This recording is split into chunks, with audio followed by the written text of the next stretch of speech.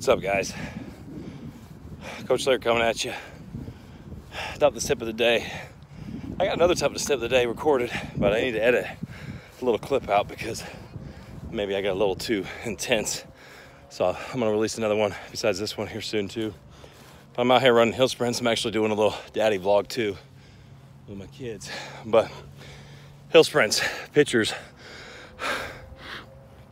Every year, every summer, and forgive me for being out of breath, but it is what it is. Every summer, and uh, guys that train with me, you know, we have hill sprints as part of our program. Scarlett's over there blowing my whistle on my, my keys. And um, it's amazing to me how many coaches still implement poles and long distance stuff. And those same guys that implement and ask that stuff are usually the soft, out of shape, jello looking guys and no offense, but you know, I got a lot of friends who don't have much of a background and they know better than that, you know.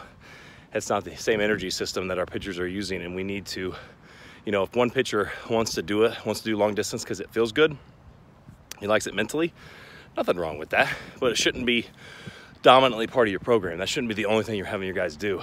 And hill sprints, sled sprints, um, sled drags, uh, dragging splint, uh, sprints, whatever you want to call them. It's foundation of stuff that we do at LT, not only to maintain velocity over the course of a season, but to pick up and gain velocity.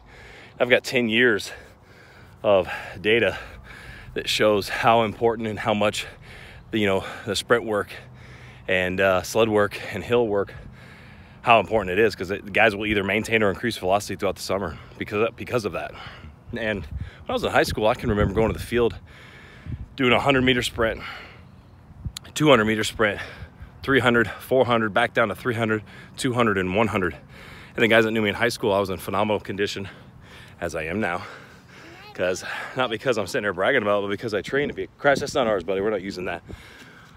But because I wanted to be, I wanted to have that mental edge. And that's the thing about people, you know, I see false confidence. And in the summer, I see false confidence in players. As soon as something gets hard, their confidence goes to shit. And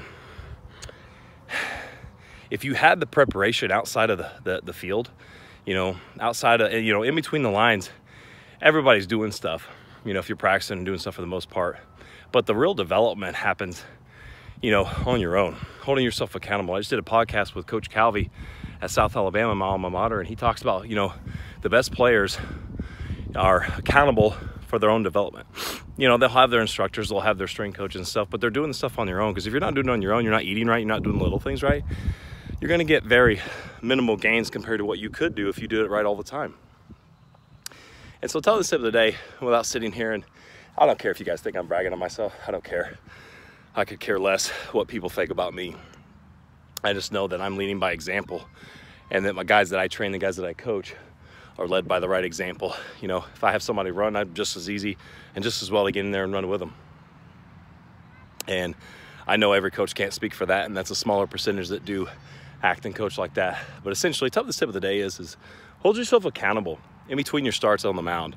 Hold yourself accountable on that Monday, Tuesday, Wednesday this summer when we're actually able to start playing.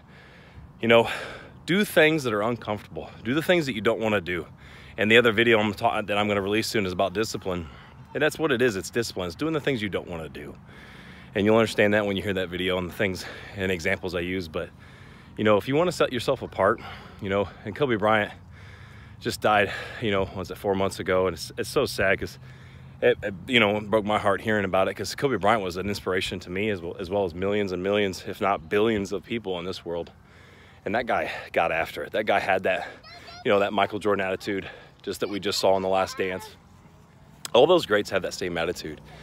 And you're not going to get any sympathy, or empathy from me if I don't see you doing the work. You know, I, I, I'm not going to sit here and I could care less if you feel sorry for yourself.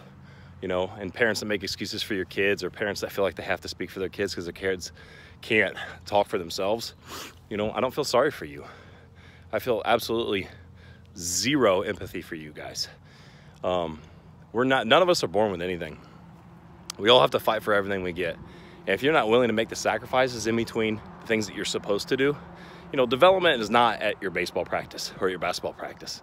That's not development, that's team practice. The worst kid in the nation does the same amount of reps as everybody else does at that same team practice.